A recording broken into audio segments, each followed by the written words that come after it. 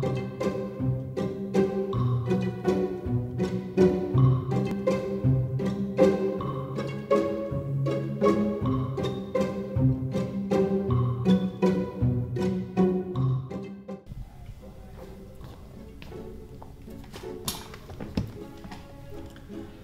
did this happen?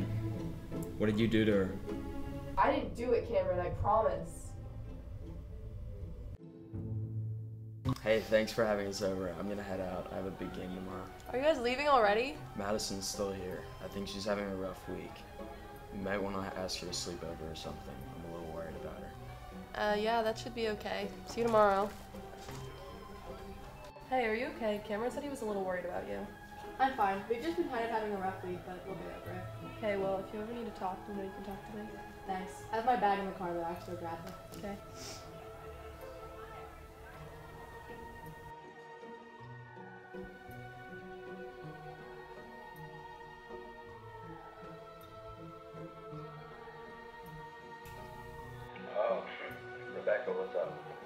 Hey, have you talked to Madison? I woke up this morning and she was gone.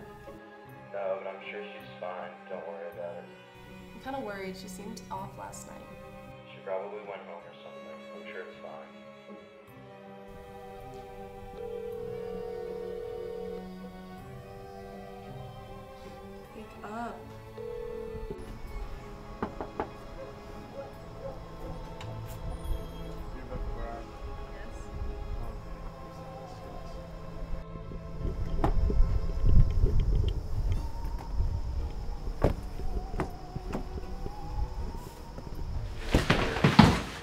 Do this. You're the wrong person.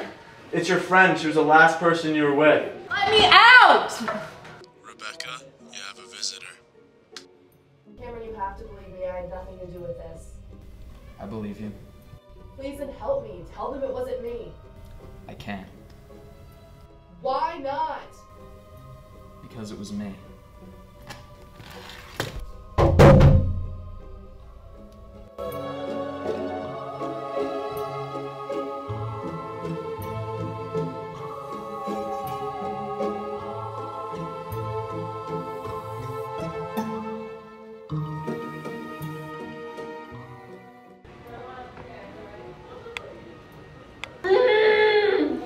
Be quiet, we're almost done.